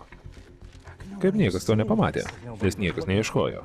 Koblinskis turėjo paslapti, jis apsimetė auką, o aš tą patikėjau. Policija taip pat. Neįtikėtina. Jis iš tiesų nekaltas. Jis nuteistas neteisingai. Turi grįžti pas teisėją, turi išlaisvinti Hiksą. Ar gali sudėti? Susitvarkysiu, tu tikėk. Kaip galėjai tai praleisti? Pablinskis mane apgavo. Ne. Tu leidaisi apgaunamas ponė bestsellerį. Ir tu rizikuoji šio laikraščio pateikimumu. Na, dar nekaltą žmogų per tave pasodino už grotų. Kad ir kas tave paskutiniu metu neramina, tau trukdo tai rašyti. Parašyk man atšaukimą. Turi paskambinti į aptačą ir sustabdyti spausdinimą, jo galėtume perrašyti A1. Taip, ponė. Po to norėčiau pasimti kelias išeiginės. Pasimk daugiau. Sujunkit mane su produkcija. Leslė Stropel. Šiandieną panašiai vestuvės. Apsikrikštydama tu viešai paskelbi, kad esi Jėzaus pasiekėja. Ar tiki, kad jis yra tavo gelbėtojas ir mirė už tavo nuodėmės? Tikiu. Ir nori šį tikėjimą paskelbti viešai, būdama pakrikštyta. Taip. Tuomet krikštiju tave, vardant Dievo Tėvo ir Sūnaus ir Šventosios dvasios.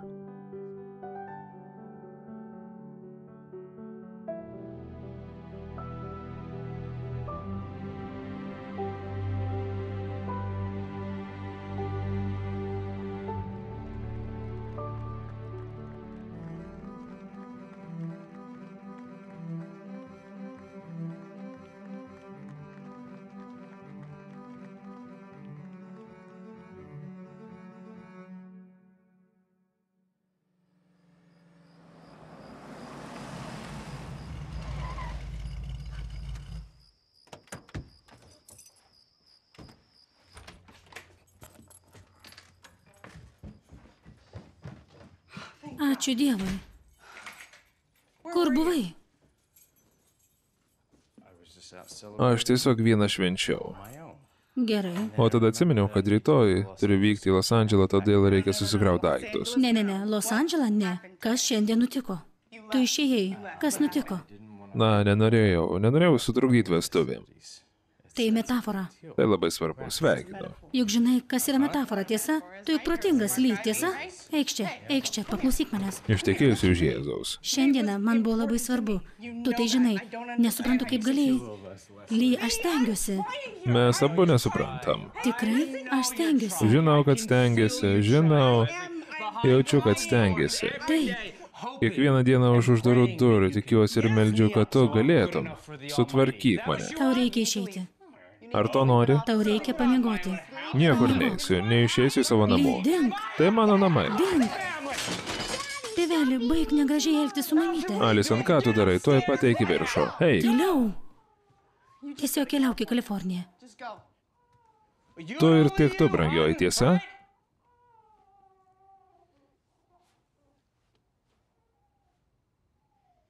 Tu ir tik tu.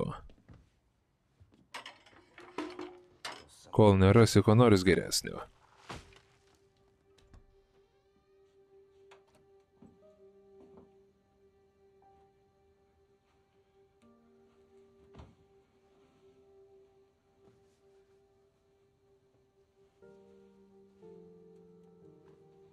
Labas.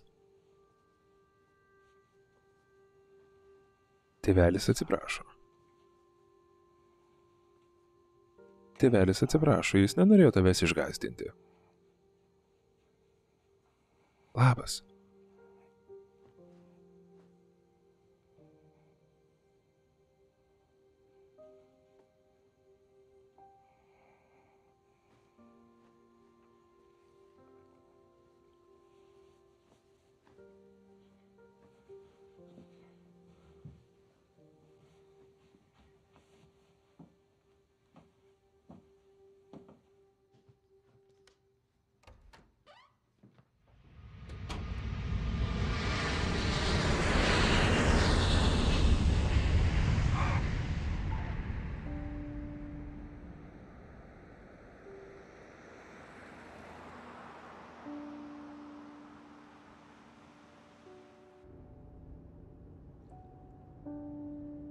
Tėve, duok į naują širdį, įdėk į naują sielą. Išimk iš jo akmeninę širdį ir duok jam žmogaus širdį.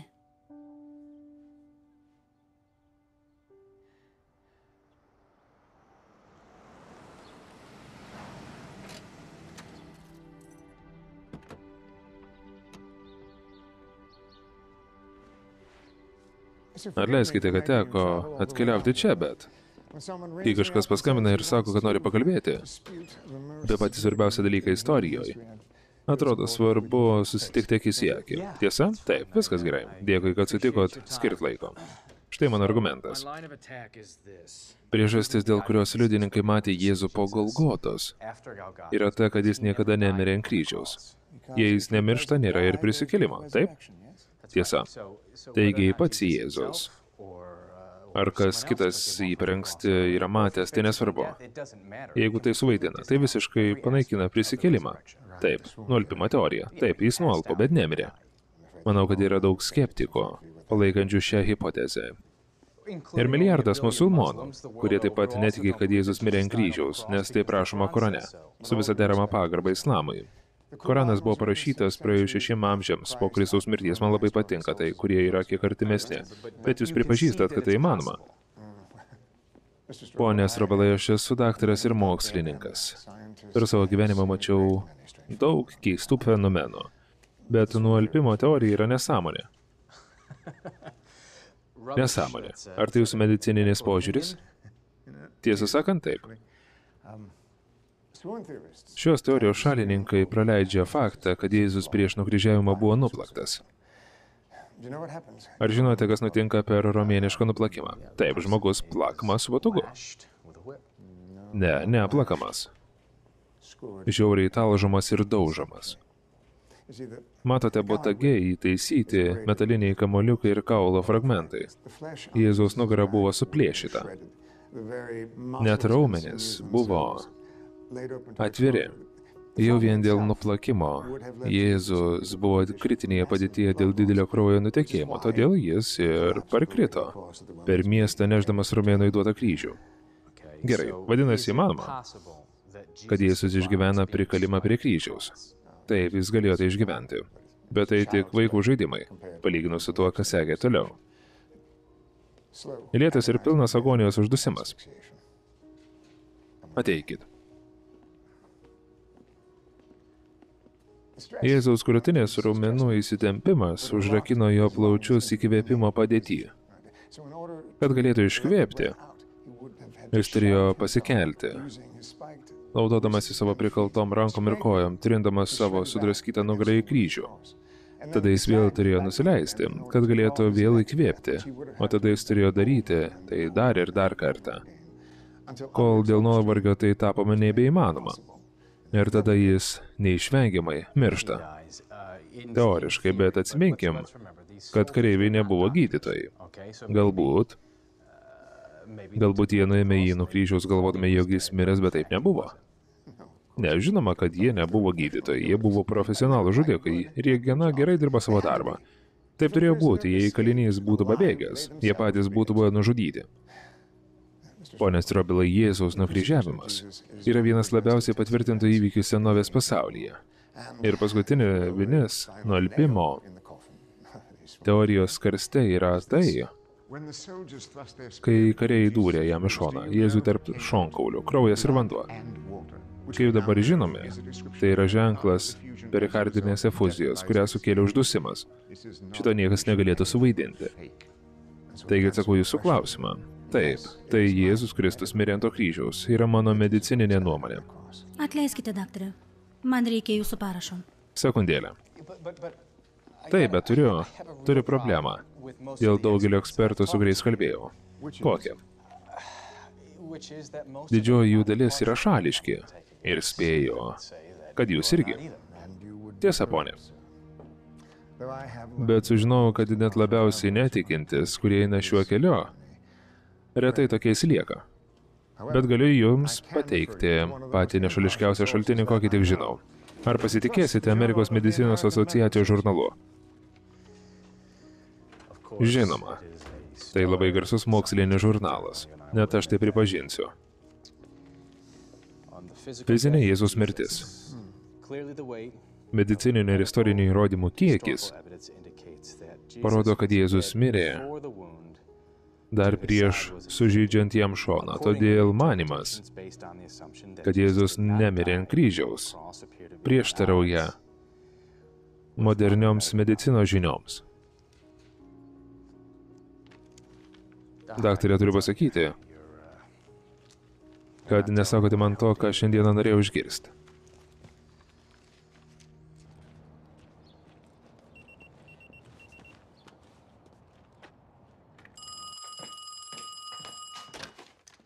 Ly, Labas, tai aš. Viskas gerai? Vaikam viskas gerai? brangusis. Tai tavo tėtis.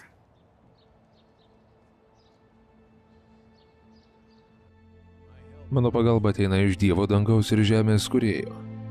Jis neleis tau paslysti, jis tave saugo ir niekada nesnaudžia. Tas, kuris saugo Izraelį, niekada nemiegos. Dievas tave saugo. Dievas yra tavo dešinė ranka. Dieną tavęs nesužiai saulė, o naktį minulis. Viešpats tave saugos nuo pikto. Jis saugos tavo gyvenimą. Viešpats tave visada stebės. Dabar ir per amžius. Vardant Dievo Tėvo ir Sūnaus ir Šventosios Dvasios.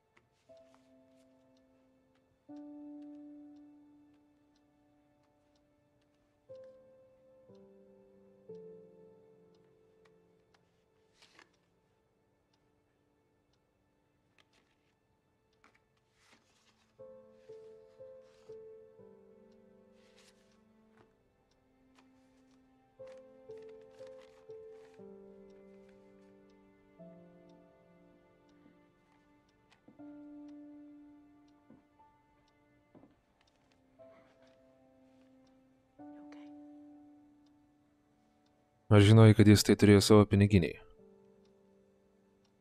Taip.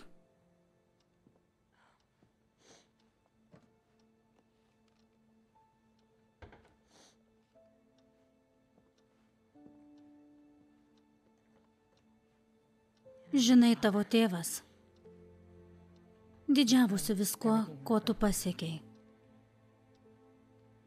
Klausyk, jis nežinojo, kaip pasakyti, bet jis tave mylėjo, sunau.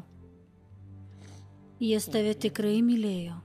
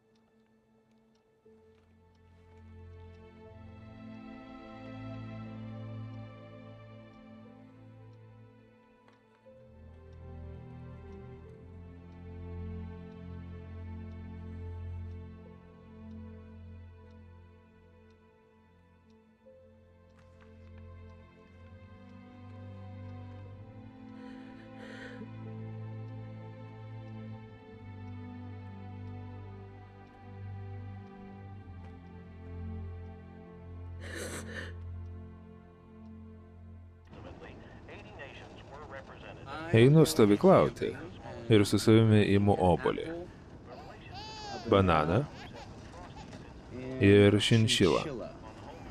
Aš einu stovyklauti ir su savimi imu obolį, Bananą? Ar jam viskas gerai? Šinšila. Šinšila. Šiandieną buvo baisiai primuštas. Ir asila. Brangiai, palauk. Kad į Hicksą nusitaikė gujos nariai, taip nutiko dėl pranešimo, kad jis buvo policijos informatorius. Manoma, kad sargybiniai nelabai gynė Hicksą. Tai nėra neįprasta šaudžiusiems į policininkus. Hicksas buvo nudelsiant nuvežtas į pasigalėjimo ligoninę, dabar jo būklė rimta. Kitur Čikagoje tikimasi stipresnio vėjo. Šį vakar tęsis.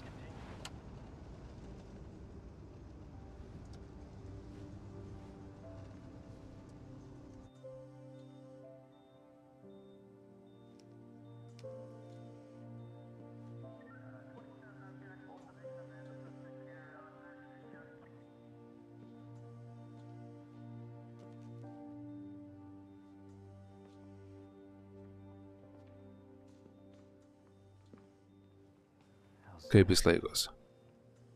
Tai nuolpsta, tai atsibunda. Dažniausiai būna nuolpęs.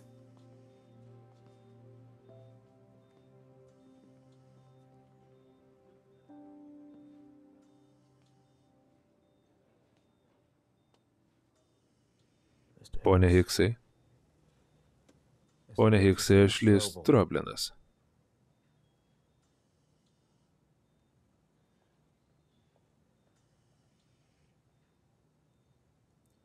Tik norėjau pasakyti.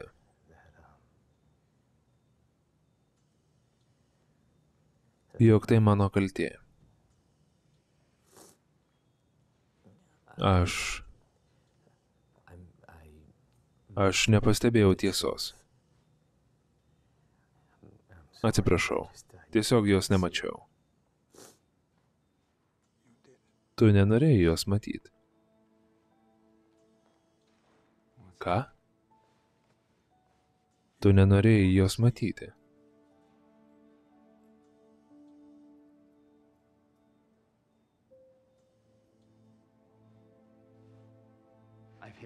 Priėjau aklavietę, perskaičiau visas knygas, kurias man davėjai, patikrinau kiekvieną argumentą, patikrinau viską.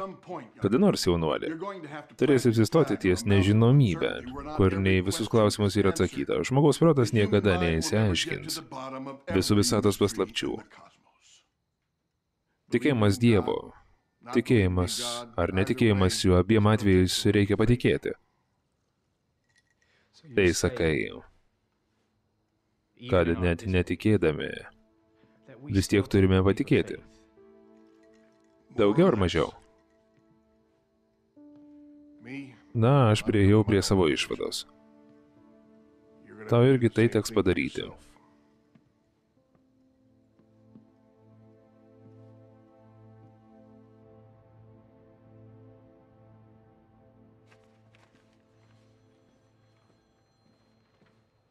Ką čia veiki? Maniau, kad tave išvarė.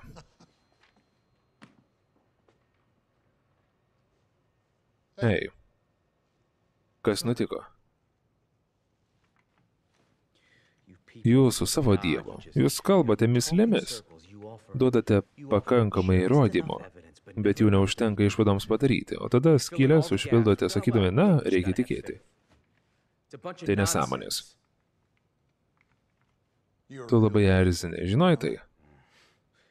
Nepradėk, Kenė. Tu nešvaistai niekiek laiko, besigirdamas koks nuostabus žurnalistas esi. Tai kodėl negaliu sučiaupti ir susitaikyti su šiuo straipsniu? Apie ką tu? Čia Čilė susitinka su Sūriu mano draugė. Vienas mano herojų buvo C.S. Lewis. Jis iš pradžių irgi buvo skeptikas kaip tu. Žinai, ką jis pasakė kelionės pabaigoje? Jis pasakė, kad jei krikščionybė yra melas, tai yra visiškai nesvarbu. Bet jei tai tiesa, visatoje nėra nieko svarbiau. Nori susigražinti savo žmoną, na, žmonės pragare nori šalto vandens. Ne visi gauna tai, ko nori. Nusto kaltinti mane, bažnyčią bei Dievą ir dirbk savo darbą. Surink įrodymus, sek faktais, parašyk istoriją, laimėk arba pralaimėk.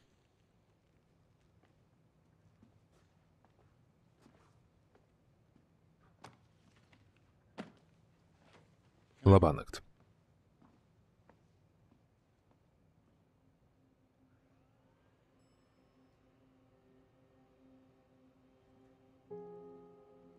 Tėve, prašau, prašau, sušvelnink lyg širdį, duok jam naują sielą, išimk jo akmeninę širdį, o įdėk jam žmogaus širdį.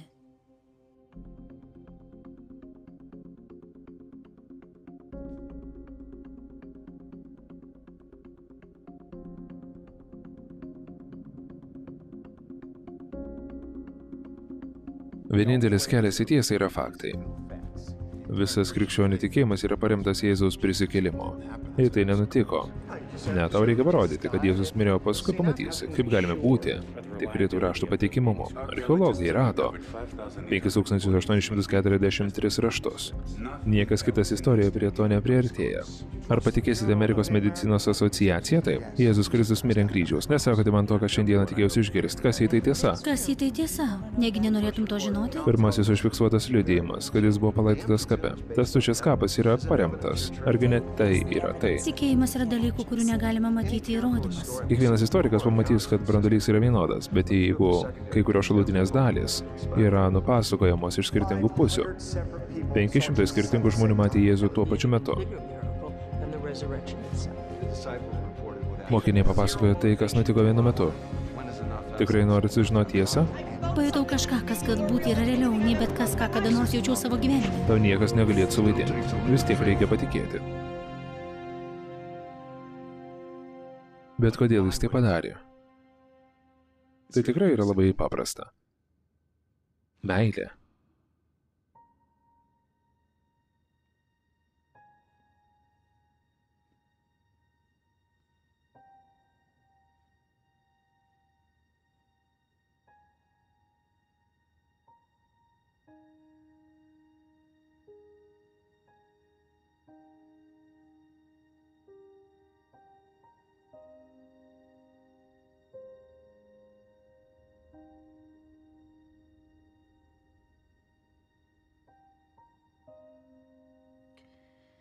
Gerai, Dieve.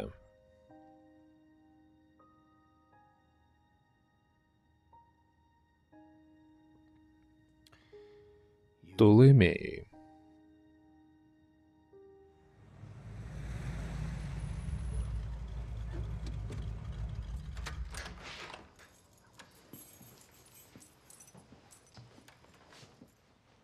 Labas. Labas. Tau viskas gerai? Taip. Taip, viskas gerai. Kaip jis laikos? Gerai. Gerai, eikš čia. Noriu su tavim trumpai pakalbėti. Ar tu tikras, kad tau viskas gerai? Paskutinius kelius mėnesius nebuvau su tavim visiškai nuoširdus. Tai labai baisus būdas pradėti pokalbį. Aš tiesiog... Paklausyk manęs. Kai tapai krikščionė, aš labai išsigandau. Taip, aš bijojau. Ir jaučiau, kad turiu tave išgelbėti. Todėl nusprendžiau įrodyti, kad tai nebuvo tik apgaulė. Tai ir dariau visą šį laiką. Tavo tyrimas. Taip, pažiūrėk. Ar visi tai... Visi tie dalykai. Todėl buvau toks išsiblaškęs, todėl vykau į Kaliforniją. Privalėjau rodyti, kad visa tai yra netiesa. Bet negalėjau. Tavo tikėjimo įrodymai. Jų daug daugiau nei kada galėjau įsivaizduoti.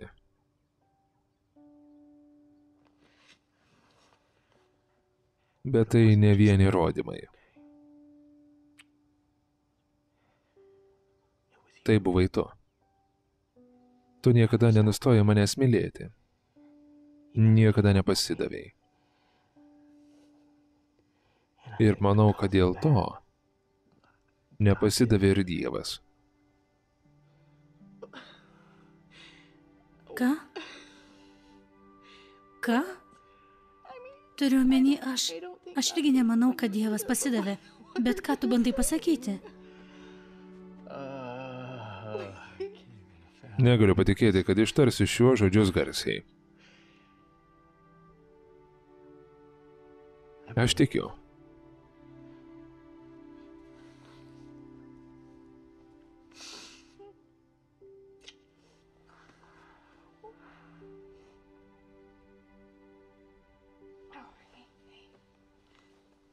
Gerai. Leis tau kai ką parodyti. Parodyti visiems, kurie jį priėmė. Jis davė galę tapti Dievo vaikais. Tiems, kurie tiki jo vardą. Ką tai reiškia?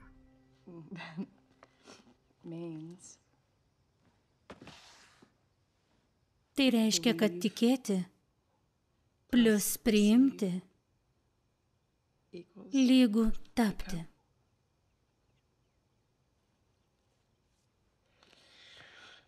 Gerai. Kaip man priimti? Kaip kokios to taisyklės? Nėra teisingo ar klaidingo būdo.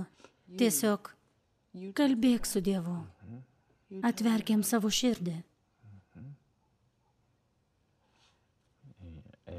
Darysim tai dabar.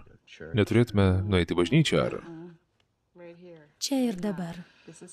Gerai. Gerai. Eikš.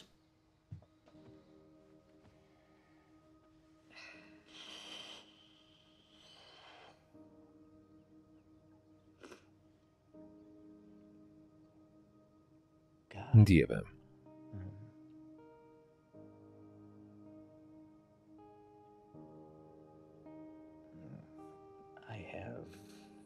Neįsivaizduoju, ką darau.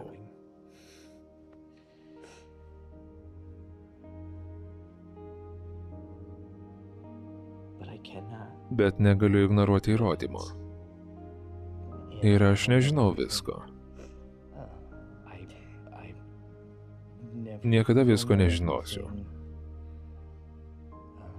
Bet aš žinau pakankamai. Ir aš tuo tikiu. Ir gailiuosi dėl to, ką per mane turėjo išgyventi mano žmona, mano šeima. Bet aš tikiu, kad tu esi tikras. Nors ir nežinau, kas bus toliau, nežinau. Nežinau, ką tai reiškia. Tik žinau, kad to noriu. Noriu to, kas bus toliau. Taigi padarykim tai. Amen. Amen. Ačiū. Turbūt aš irgi išprotėjęs.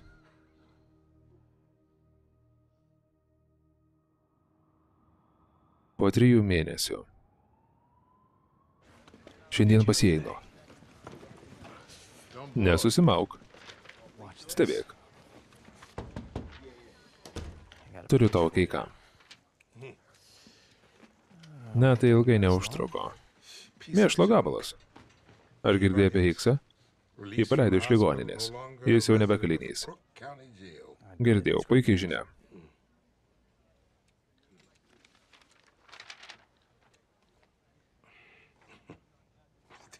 Nagi, juokauji? Ne. Noriu parašyti straipsnį pirmojo asmeniu, gerai? Odisėja. Žmogaus kelionė nuo skeptiko iki tikinčiojo. Užmirštai, Ly. Turiu galvoj. Tau gerai, bet negalim to spausdinti. Prarastume pasitikėjimą. Tu jį ir taip pat. Tikrai norėčiau, kad persigalvotum. Ly prie to, ką žinai. Ei, dink iš čia. Ne, kol manęs neišklausai. Labas, tėveli. Labas. Gerai. Labas. Sveika. 30? Dubuo nesutiko. Tikrai? Taip.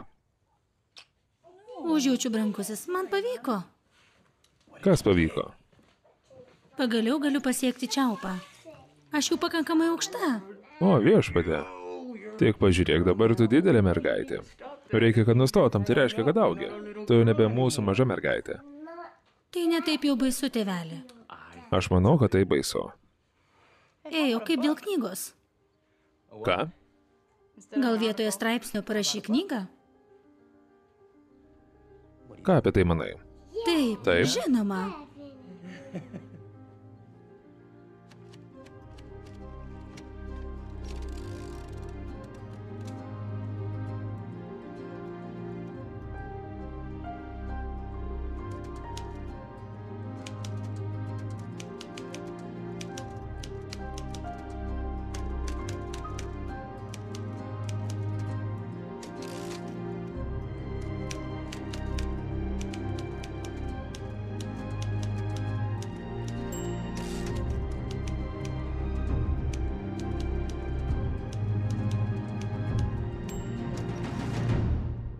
Tekstą vertė Elke Palito, redagavo Justytė, įgarsino Sonatą ir Dovydus.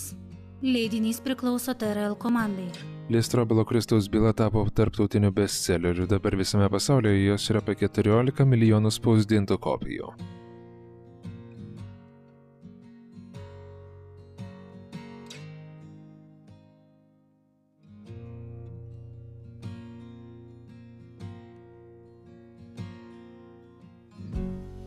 Li paliko žurnalisto karjerą 87-aisiais ir tapo pastoriumi Vilau Kriko bažnyčioje, ten pat, kur Leslė nusivedė jį jam būnant skeptiku.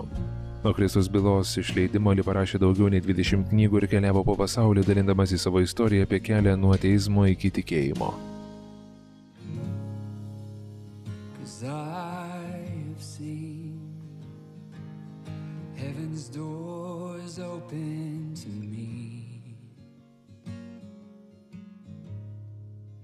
Pamačiusi, kaip pasikeitė tėvas mažoji Alison po šešių mėnesių tapo krikščionė, šiandieną yra parašiusi pustuzinio romanų vedančių žmonės pas Dievą. Kailas užaugęs tapo teologijos daktaru ir dabar yra profesorius seminarijoje, jis yra kelių krikščioniškų knygų autorius. Savo sūnų jis pavadino tėvo vardu.